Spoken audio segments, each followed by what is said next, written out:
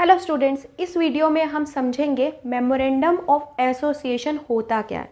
Memorandum of association एक बहुत important document होती है, जिसे हर कंपनी को सबमिट करवाना पड़ता है रजिस्ट्रार ऑफ़ कंपनीज़ के पास इनकॉर्पोरेशन के टाइम पे। ये कोई ऑप्शनल नहीं है, हर कंपनी को सबमिट करवाना ही पड़ेगा, तभी कंपनी क्या होगी? इनकॉर्पोरेट होगी। क्लियर है? तो मेमोरेंडम ऑफ़ एसोसिएशन क्या है? एक मैंडेटरी डॉक्यूमेंट है। अब ये मैंडेटरी क्यों है? क्योंकि इस डॉक्यूमेंट के अंदर कंपनी से रिलेटेड जितनी भी इंपॉर्टेंट इंफॉर्मेशन होती है, वो दी जाती है।